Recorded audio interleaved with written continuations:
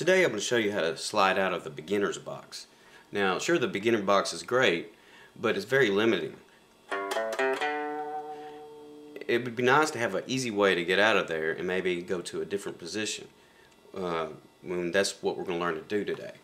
We're going to add two notes. We're going to add the 7th fret of the uh, A string and we're going to add the 5th fret of the D string. Now, in order to uh, get out of the box, what we're going to do is pretend we're playing the box. On that 5th fret, when we hit that 5th fret, fret, excuse me, when we hit the 5th fret, we're going to slide up to the 7th fret.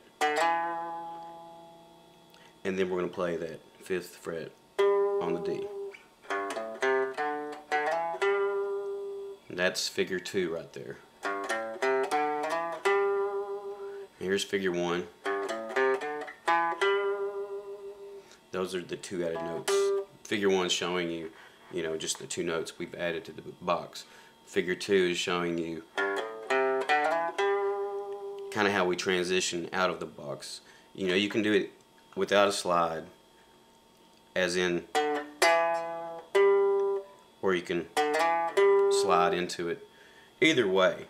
But once you get up that box, out of the box, and up to that fifth fret, you might want to try going backwards. Now, here's figure three, is a little lick uh, built off of that sliding out of the beginner's box.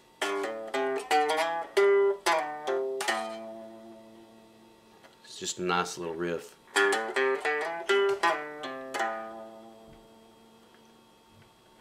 Now figure 4 is a more elaborate riff.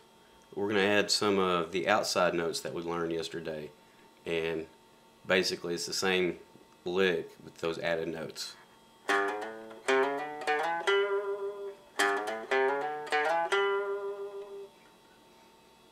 Okay, well that's about it for today. Tomorrow I'm going to show you uh, how with that new position that we're in, how it creates uh, it's the first two notes of a new box and we'll learn that box tomorrow and it will it will really open up some new phrasings for you and hope to see you then